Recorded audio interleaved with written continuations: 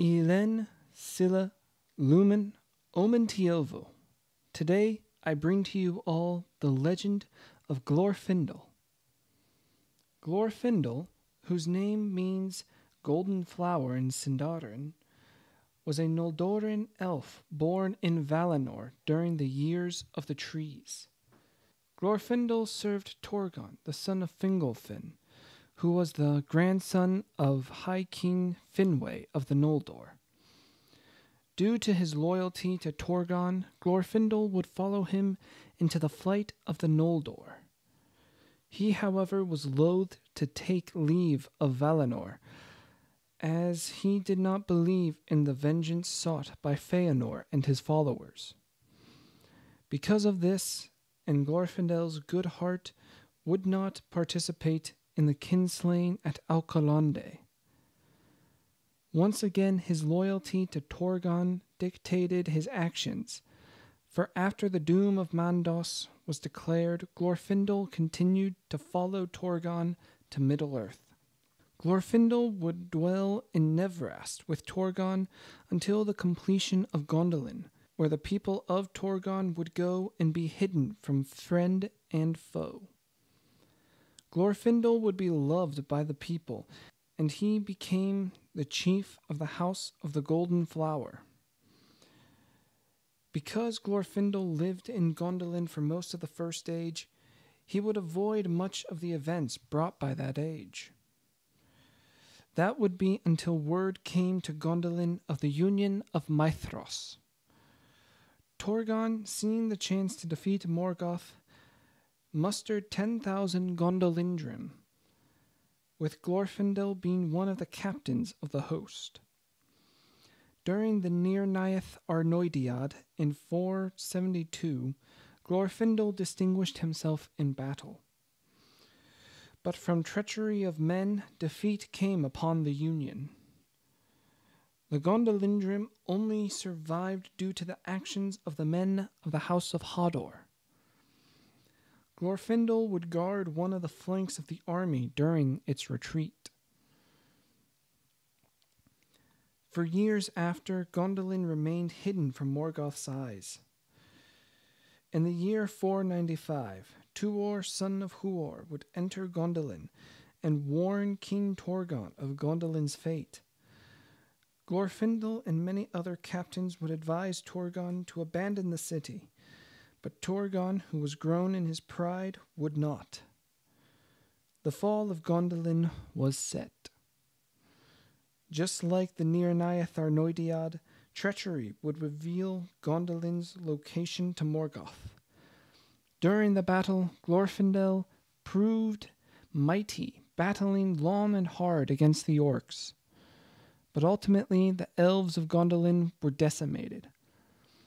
Glorfindel was one of the few captains left once the evacuation began through a secret passage made by Idril, the daughter of Turgon. It seemed as though the survivors would escape, but a Balrog appeared with a host of orcs.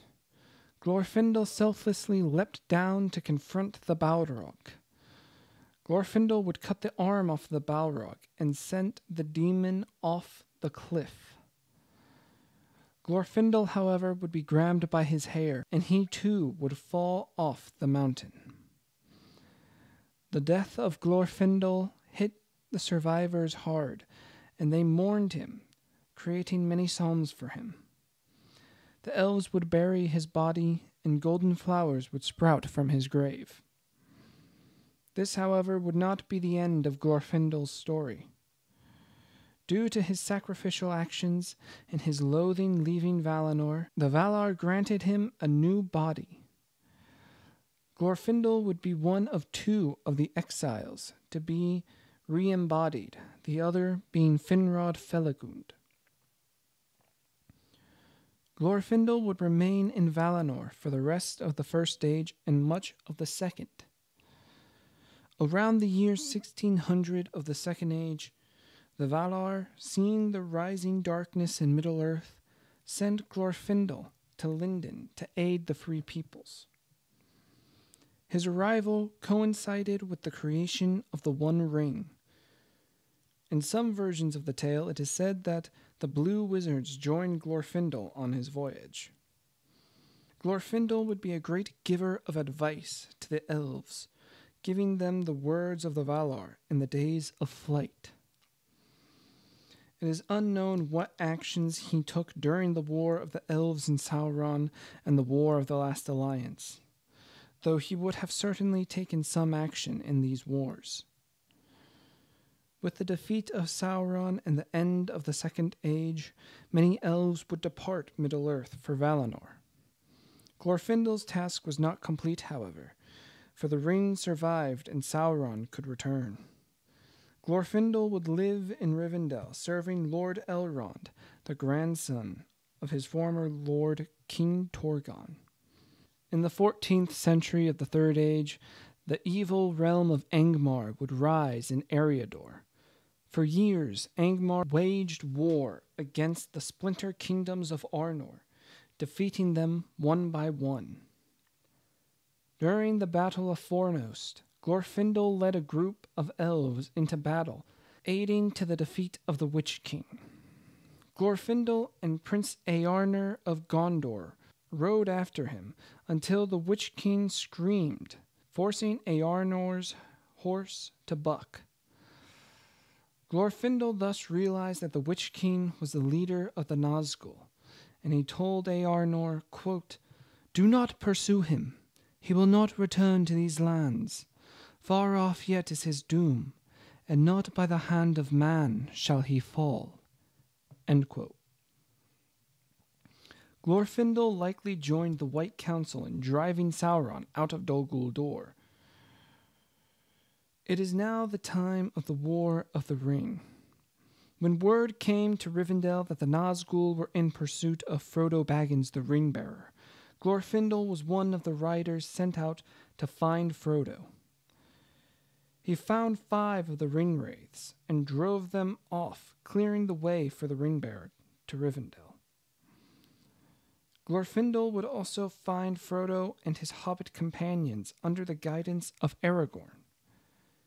Glorfindel would aid them in getting to Rivendell. When they were attacked by the Nazgul, it was Glorfindel who drove them into the water to be swept away by the waves. During the Council of Elrond on October 25th, 3018, Glorfindel suggested throwing the ring out to the sea, an action the council would reject. Glorfindel would stay in Rivendell for much of these events. With the defeat of Sauron on March 25th, 3019, Glorfindel's task from the Valar was complete, and he would return to Valinor, the land he loved, though it was unknown when he would depart. So ends the legend of Glorfindel.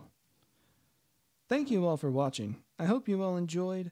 As always, feel free to like and subscribe for more content, and please let me know how I can better improve these videos. Thanks, and as the elves say, Namarie.